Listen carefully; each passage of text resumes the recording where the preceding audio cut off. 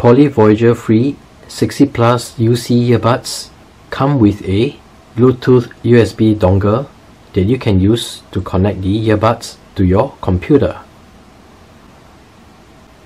The dongle is actually inside the touch case over here.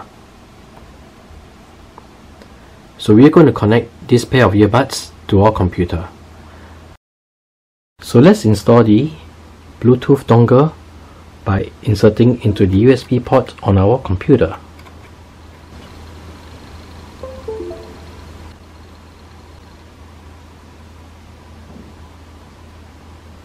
You can see the Bluetooth dongle is now blinking red and blue. It is in pairing mode. So now we have connected our earbuds to the laptop computer. Do note that this is the second device that we have connected.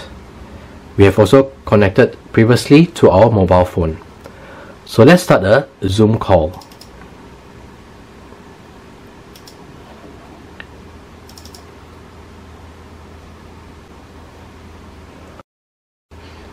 So on the Zoom, you need to select the audio as poly-free earbuds for the speaker as well as the microphone.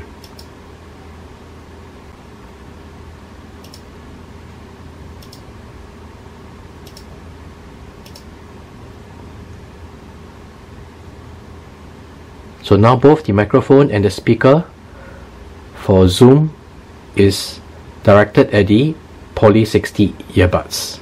We are in a Zoom meeting. Let's see what happens when there is an incoming call and how the Poly earbuds handle. So you can see on our phone there is an incoming call. Let's answer.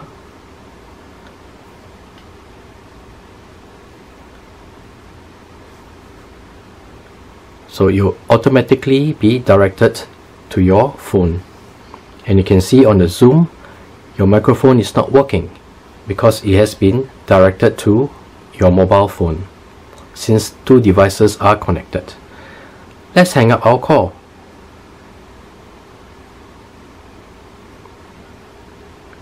And once again you can see that the microphone is directed back to the zoom as you can see over here so this is how the poly-free 60 plus earbuds handle when two devices are connected and there's an incoming call while you're having a Zoom meeting on your computer.